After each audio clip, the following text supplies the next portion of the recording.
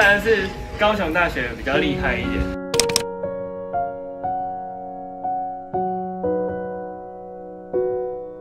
哎，老师，我们有个问题想问你，你认为高雄大学建筑系相对于其他建筑系的特色是什么？OK，我觉得高雄大学建筑系基本上有几个比较不一样的地方啊。第一个是我们位处在高雄，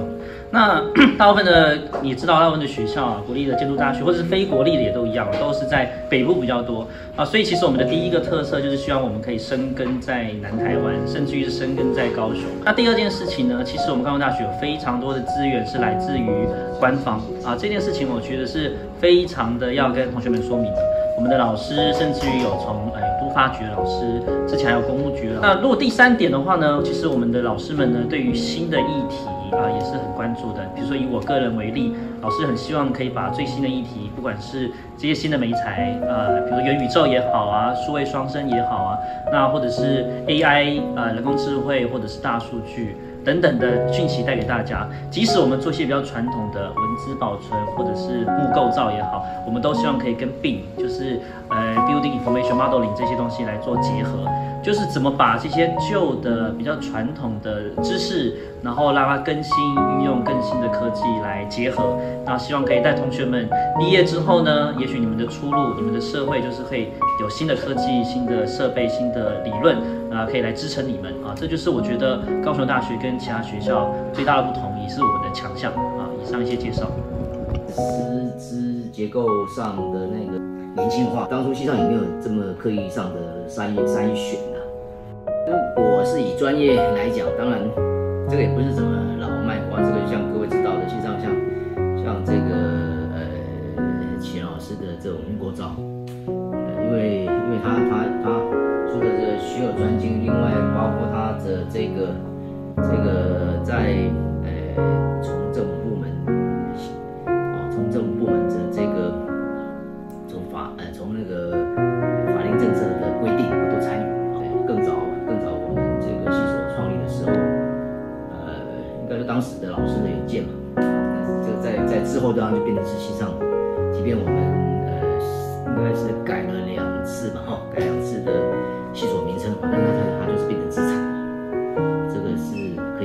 个角度来看，西藏跟跟那个其他呃其他学校建筑系的这个差异。好，那当然是高雄大学还有很多厉害的数位课程。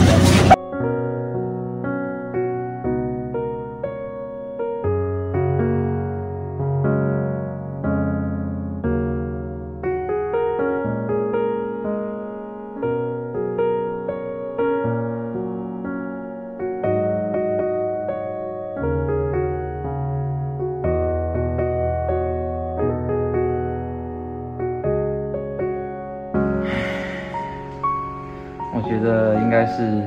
总评周图赶不完，然后每每一整个礼拜都在工作室睡觉的那一那一撮吧。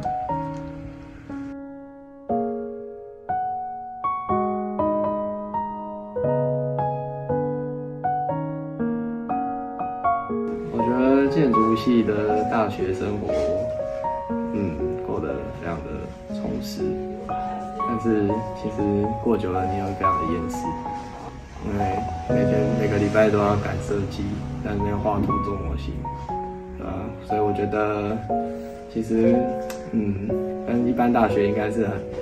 很不一样吧，对吧？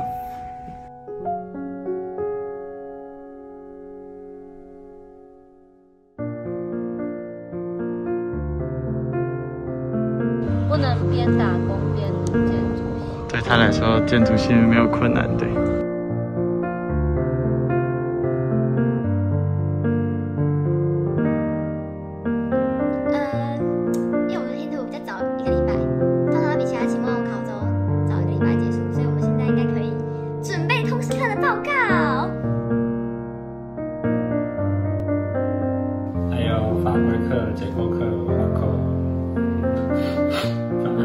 我看很多课，还有很多报告要赶，我再做不到。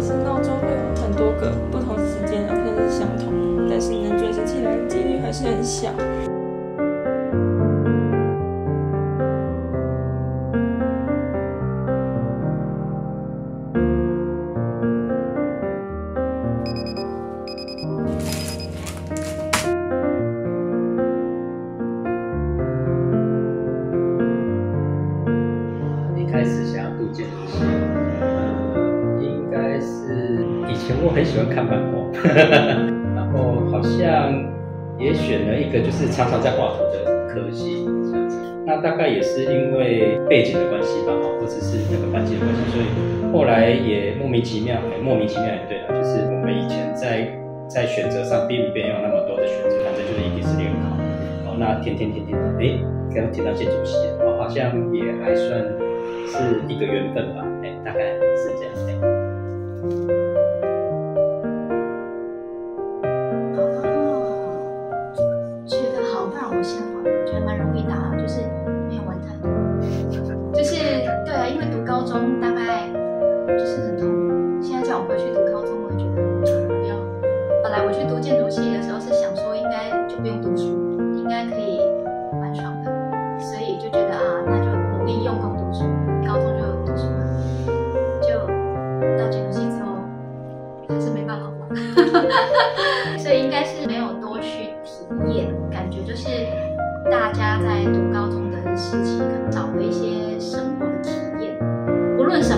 做什么，并不是说你一定要去读什么杂志、建筑师杂志还是什么，没有，你只要去累积兴趣，累积一件事情是你觉得有热情的，然后去做。不要浪费，其实高中时高中的时间是。我的话，我高中就是在追求自己想做的事情吧，所以我觉得这件事情可能就跟建筑系的某种学习的精神可能有点像吧。因为其实建筑系比较重要的是你自己想要高中的同学的话，我觉得就是勇于探索自己真的有兴趣，然后有热情的事情去去做。我觉得这会是一个蛮适合念建筑系的一个呃人格特质。如果是有对建筑有兴趣的学生的话，就是建议高中时期可以多看一些建筑的管书，可以多去摸索一些可能用得到的一些软体，多出去玩，多看多听，多尝试，好好休息，不要再看课内书了，不要相信大人的话，在高中能玩就玩。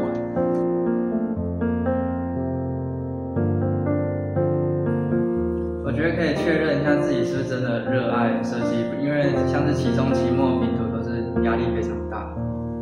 能多睡就多睡，fighting，加油！要想清楚。大一休学还能别读就别读。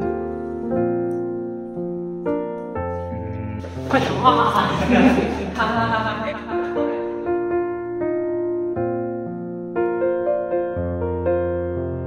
系的学生在养成教育里，总收到的资讯跟知识要广泛，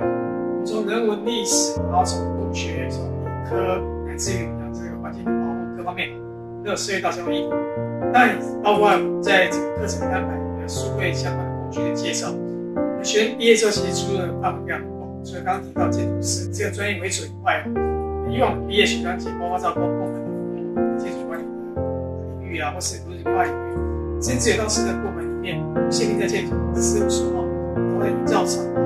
规划公司啊，做景观设计啊，甚至于室内设计、装修各方面的领域。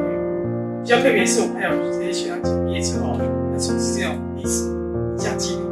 口拍记录，甚至于古迹保存等等。所以建筑系领域的学生毕业之后，因为他所学的资讯跟知识比较广泛，不再是找建筑师这唯一的出路，而是说借由这个多元的一些训练的背景，他事实上可以从事的行业，可以让他有一些可以发挥的地方。建筑系毕业以后呢，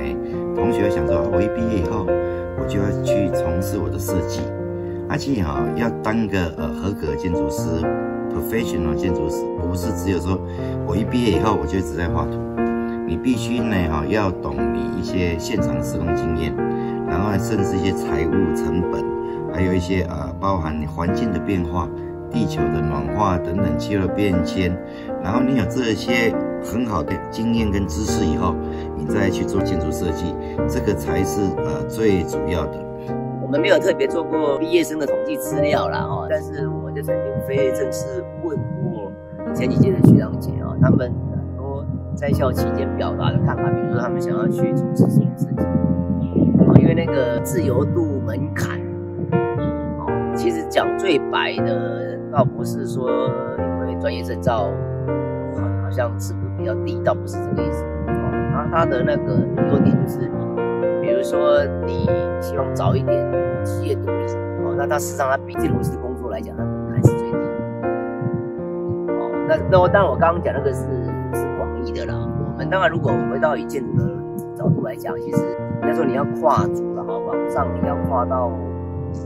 国土，就是要跨到所谓的星期计划啊。当然这个不是用吹牛的角度了哈，大概都会有所涉及的哈，因为你只要是触及。居住的问题，概都会是各位需要去去去关注的，然后也可以去努力尝试往 scale 小的话，你们现在是叫做斜杠，我如果没记错的话，把那个天能啊，那个导演诺兰啊，那他他基本上就念建筑，哦，因为那个就是你要有很有空间感呐，哦，然后你要能够讲故事的，哦，其实如果从从这种这个这个层面来看。建筑系毕业的话哦，绝大部分可能会进入建筑师事务所了哈。但是也有一些人哦，他可能会去工地哦，比如说像土木技师去做所谓的工地建造哦，变成专任工程人。还有一部分的同学可能会进入建筑公司啊，因为建筑公司的话，毕竟还是要有一些设计部门哦。那可能因为你们有受过建筑师的一个训练，自然可能没考上建筑师，那可能进入设计部门，甚至到土地开发部门，因为。建筑公司需要地，所以也可能有些人会做所谓的代销，然后代销做一阵子有赚到钱，可能就会往开发商去去做做做发展。那开发商的话，那就是老板哦。那另外有一些人可能不走建筑设计的本行的哈，他可能会走所谓的土地开发的业务哈，比如说呃这个所谓的设计规划设计的哈。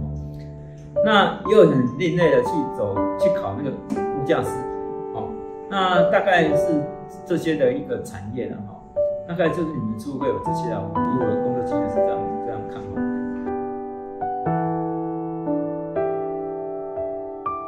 一开始觉得好像蛮好玩的，因为不喜欢读书，然后感觉他们都在做模型啊、画图。我以为是在工地打工，就好像知道会很累、很辛苦，会一直熬夜。建筑师八部，其实我没有看过建筑师八部，这个骗子。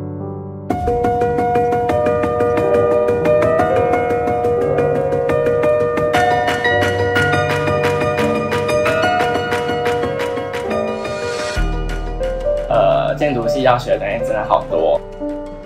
除了学科啊，然后怎么画图、做模型这些术科，然后还要学会时间管理，学会怎么让自己能够把东西做好，然后做完，然后又有时间睡觉，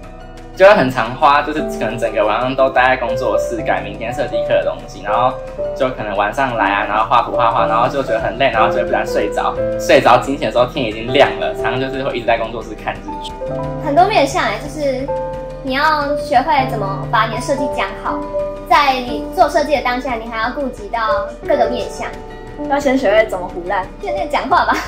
想的东西讲出来，然后讲的有逻辑、有架构性。好累，大家三个月不能回家。他会花掉你最多的时间。可能你每个礼拜要花很多个晚上去熬夜，去从设计的发想构想，然后到画出来啊，最后做模型实践，跟老师反复的讨论。我觉得它算是建游系很重要的一个环节，就是大家毕业之前最重要的一个必经之路吧。就做设计做到一半，跟大家一起吃宵夜。嗯，总评结束的时候，你的设计做到哪里？你昨天睡多久？我昨天只睡两个小时。你什么时候印海报啊？什么时候建模？这样。我我要需要几点？你等下几点叫我一下？啊，没做没做，要做不完了。应该就是电脑没有存到档，然后直接就当掉了吧？会忽然就吓到。啊，心痛的瞬间就是那个 AI 存完档之后，那个图片不见了。大概就是画图画到一半，电脑宕机吧。最心痛的瞬间应该是你很努力的割一个板，然后当你把它拔下来的时候，还有毛边，或者是它缺一角。已经要总评了，十点要点名，但那时候已经九点多，然后海报整个不见，我都超崩溃。哇，这个问题应该会吧？有一点后悔。这是一个很难的问题。嗯，其实有后悔过，但是如果知道进来会是怎样的模式的话，我会先准备好，然后一样再进来。我没有想过要休学，如果要我再选一次，我应该还是会读建筑系。